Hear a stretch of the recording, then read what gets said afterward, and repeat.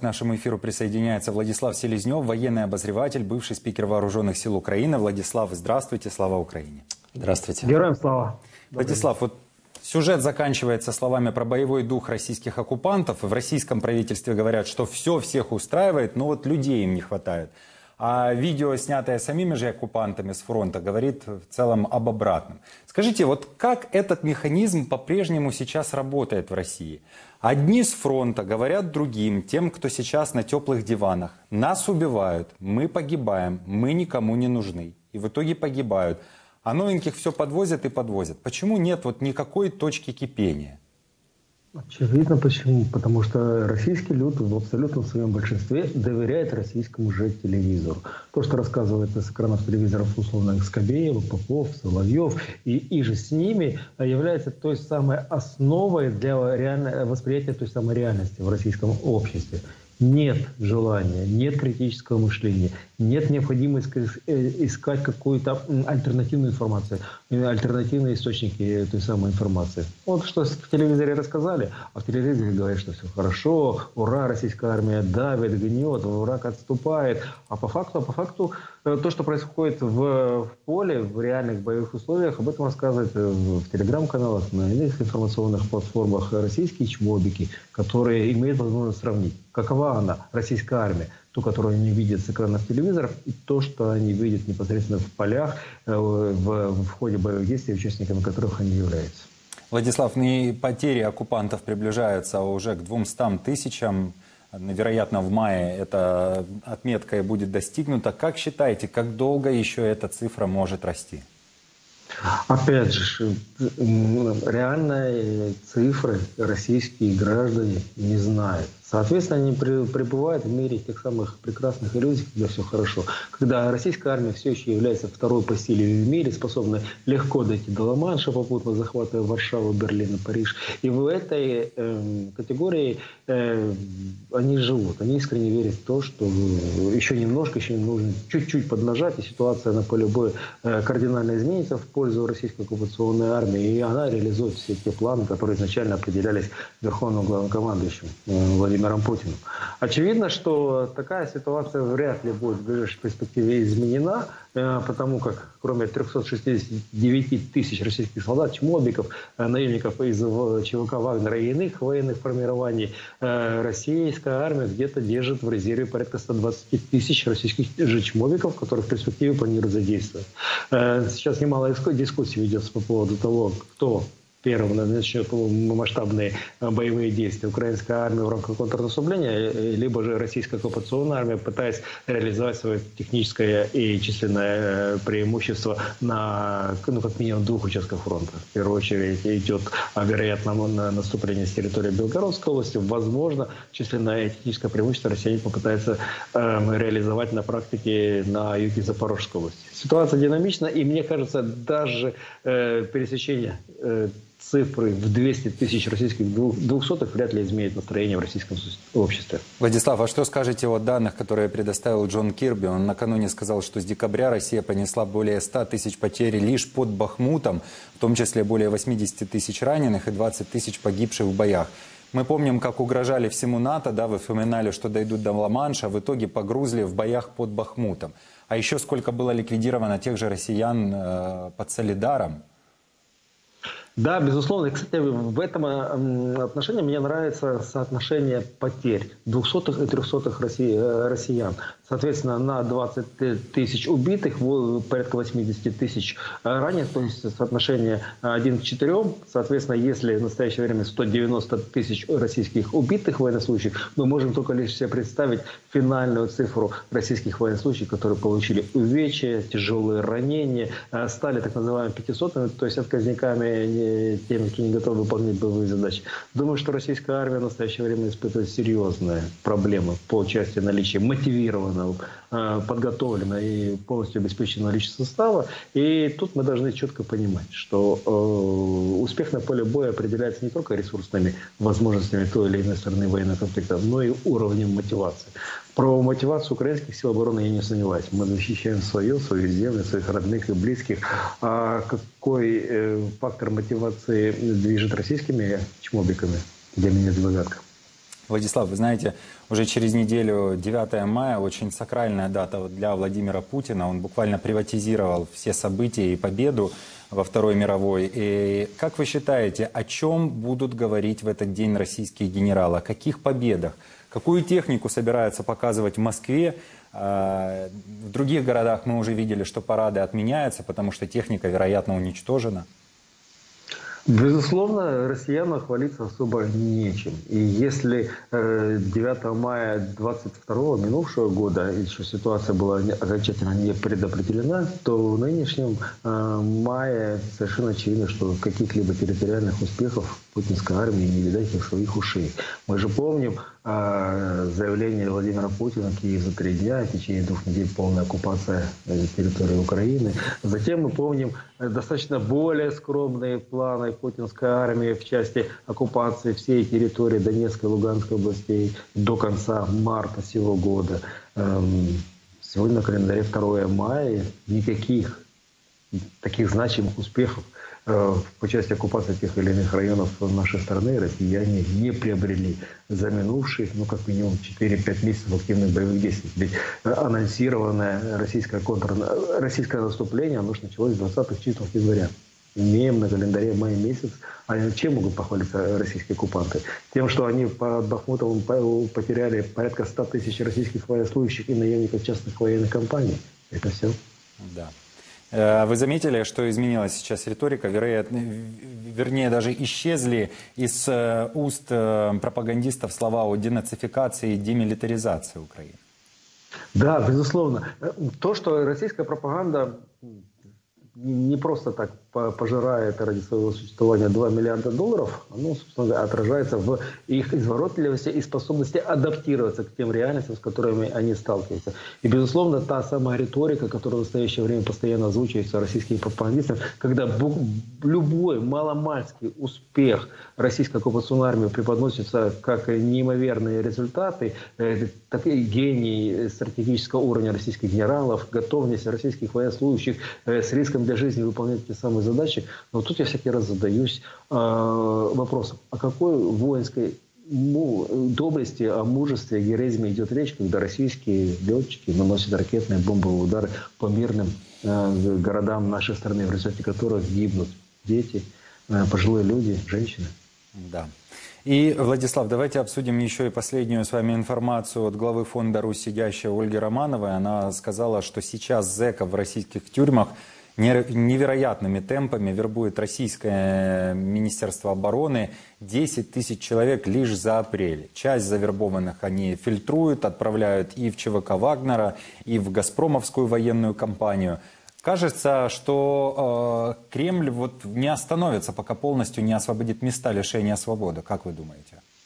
В определенной степени такое изуитство и жесточайший цинизм в действиях э, российских генералов имеет место быть. Потому как таким образом они де-факто утилизируют э, граждан Российской Федерации, которые по тем или иным причинам оступились, э, попали в исправительные заведения российской системы тюремной. И таким образом они отправляют этих самых оступившихся граждан Российской Федерации так сказать, крови и искупать свои грехи. Да, безусловно, россияне несут огромные потери. Порядка 80% частной военной компании «Вагнера», до недавно снабжавшейся чмоби, не чмобиками, а вчерашним языка, а в настоящее время штурмовиками э, той самой ЧВК «Вагнер», они превратились в хороших русских, то есть стали двухсотыми.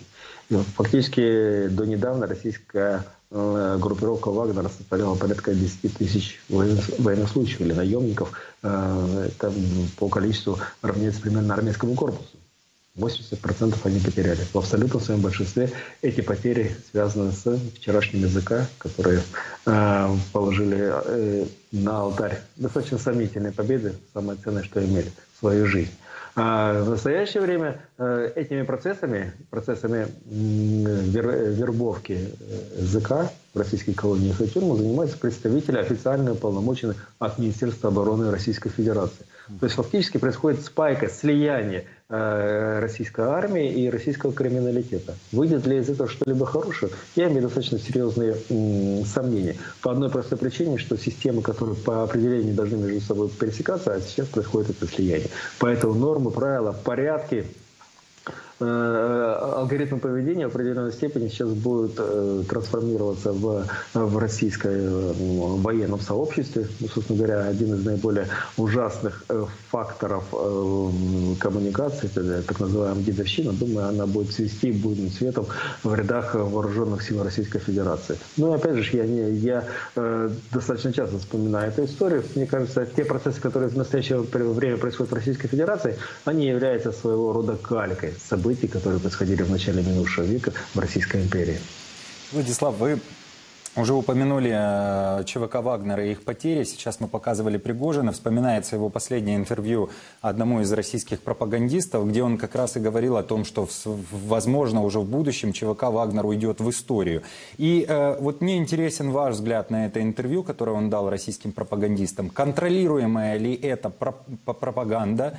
Контролируемое ли это его заявление? И как вы считаете, почему позволяет себе говорить э, про Путина, Медведева и прочих, э, и Шойгу, э, называя их клубом капризных карликов?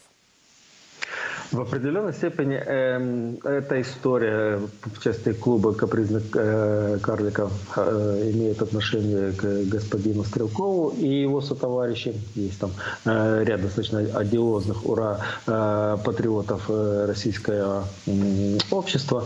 Э, тот же Павел Губарев, небезызвестная личность, и ряд еще бывших военнослужащих, которые пытаются э, вернуть понимание э, российского общества тот факт, что в настоящее время российская армия проигрывает, а значит проигрывает Российская Федерация в противостоянии с украинскими силами обороны. Почему позволяет себе такие пассажи информационные Пригожин, Стрелков и же с ним, очевидно, что идет конфликт между разными силовыми башнями Кремля, а эти персонажи имеют право голоса. Они работают такими себе рупорами тех самых силовых башен Кремля, которые между собой выясняют отношения и борются. Но ключевая причина их столкновения и борьбы заключается в желании сидеть на тех самых финансовых потоках, которые в настоящее время полноводной рекой идут для обеспечения нужд российских э, военнослужащих, российских подразделений, которые принимают участие в так называемой специальной военной операции. Скажите, а чем такое вот публичное выяснение отношений э, может закончиться? И как вы считаете, как эти публичные выяснения воспринимают российские граждане, обычные, которые не понимают э, ни что такое башни Кремля, не понимают, что в целом могут быть какие-то перипетии в государстве, которое якобы воюет против одного противника, против Украины? Думаю, что все вот эти информационные вбросы, они же в основном происходят на в интернет-пространстве. Телеграм-каналы, YouTube-каналы, иные платформы для коммуникации. На первых четырех или даже пяти кнопках российского телевидения а, э, на эти кнопки скандалы, связанные с именами Стрелкова, Пригожина и прочих, они не выплывают. Там есть стабильный Соловьев, Киселев и прочие, прочие, которые рассказывают о том, что российская армия борется с а, фашистами, с бандеровцами и прочее, прочее, прочее. Ересь, которая очень плотно засела в умах жителей Российской Федерации. И в принципе, когда вот самих россиян не дергает, они это воспринимают вполне нормально, и уровень э, поддержки так называемой СВО достаточно высок. Но только лишь российское государство объявляет частичную мобилизацию и эм, публично заявляет о необходимости призыва в ряды вооруженных сил Российской Федерации все новых и новых партий э, чмобиков, тут уже уровень поддержки снижается, потому как все готовы смотреть по телевизору про успехи российской армии, но никто не готов с оружием в руках идти и умирать. Ради чего, опять же, так и непонятно. Я думаю, что не только мне непонятно, ради чего умирают российские солдаты в Украине. Владислав, а как вы считаете, вот мы говорили о том, что Минобороны сейчас активно вербует э, зэков, а освобождает места в тюрьмах. Не освобождают ли эти тюрьмы для тех, кто, возможно, таки в будущем выйдет на протесты? Или протесты в России все же невозможно? Э, готов ли в настоящее время протестный потенциал в самой Российской Федерации? Думаю, что нет. Дело в том, что настоящие буйные, э, те, те противники режима, которые готовы в, во всеуслышание заявлять о том, что Путин – это преступник, что проведение так называемой специальной военной операции – это военное преступление, они сидят по тюрьмам, либо вынуждены скрываться от российской фемиды за границей. Не думаю, что тут и сейчас российское общество готово выходить на площади, на митинги э, для того, чтобы выразить свое недовольствие. Это ситуация, которая складывается в настоящее время. Но опять же, фактор черного лебедя, фактор критического ухудшения уровня благосостояния каждого э, обычного россиянина может сработать э, как раз в пользу таких процессов. Ну а то, что русский бунт, он беспощадный, не имеющий границ и рамок, мы это знаем со времен давнишней истории. Знаете, есть уже какие-то волнения на линии фронта, в частности, в районе Марьинки. В Генштабе ВСУ сообщали буквально на днях, что именно под Марьинкой у оккупантов совсем не боевой дух, они отказываются идти на штурм ВСУ без обеспечения, жалуются, собственно, и на это обеспечение – жалуются на нехватку снарядов. Американский институт изучения войны пишет, что постоянные перестановки в военном руководстве подорвали боеспособность вооруженных сил Российской Федерации. Аналитики, в частности, акцентируют внимание на том, что российские войска начали полномасштабное вторжение без единого командующего и предполагают, что президент э, России, кровавый диктатор Путин, ожидая успеха российских войск, за три дня, не хотел ни с кем им делиться. Как итог, кадровые перестановки делают российскую армию все более фрагментированной и дезорганизуют командные структуры. Владислав, согласны ли вы с такой аналитикой? Безусловно, цифра 17. Именно столько ротаций было произведено за эти 14 месяцев в высшем военном эм, скажем так, анклаве э, российской армии. Речь идет о командующих округах, и выше по должностям. 17 ротаций. Это значит, что российские генералы просто не успевали входить в курс дела для того, чтобы организовать по своему разумению э, проведение так называемой специальной военной операции. Это значит, что Путин тасует колоду в поиске того самого волшебника на голубом вертолете, который сможет в короткие сроки с минимальными усилиями реализовать его давешнюю мечту.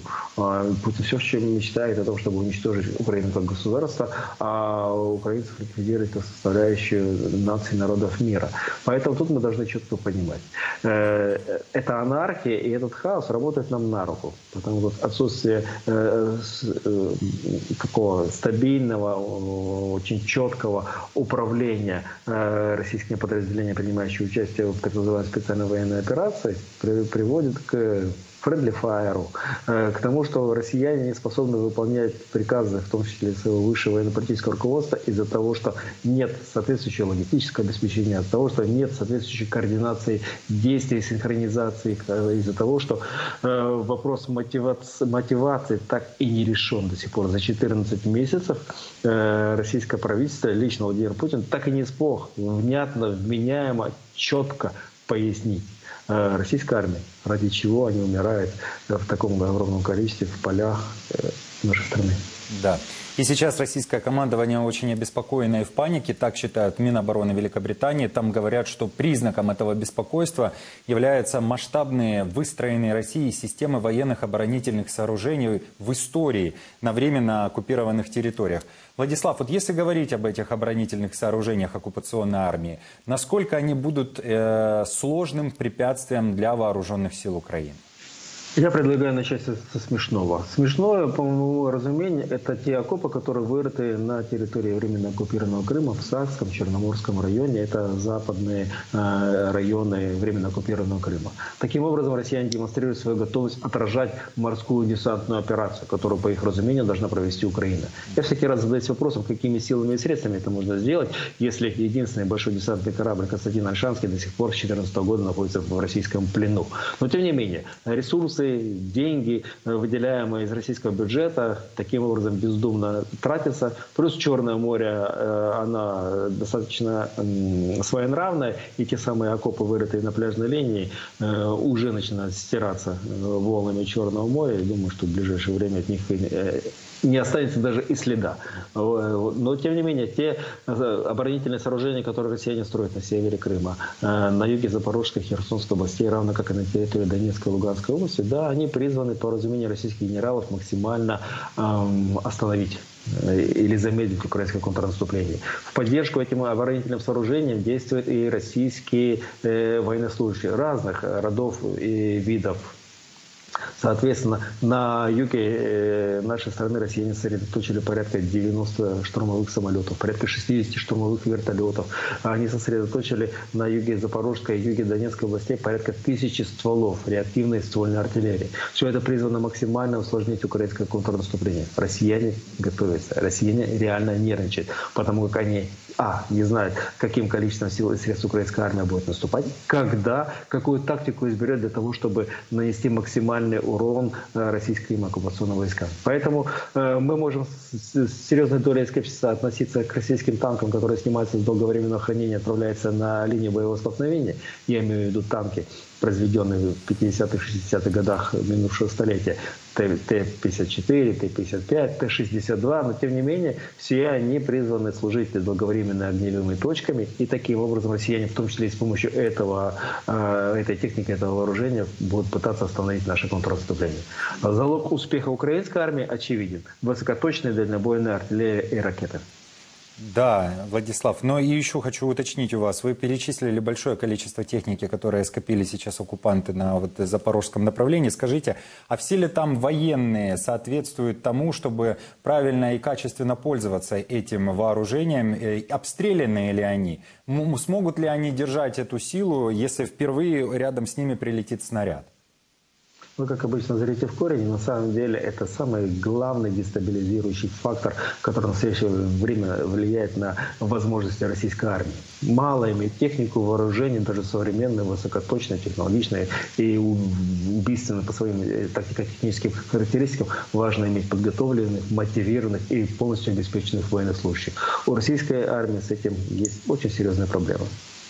Да, и еще уточните дальнобойную артиллерию. На сколько километров нам сейчас она необходима? И я так понимаю, это э, дальнобойные ракеты необходимы исключительно для уничтожения логистики врага на дальних участках э, во временно оккупированных территориях. Правильно?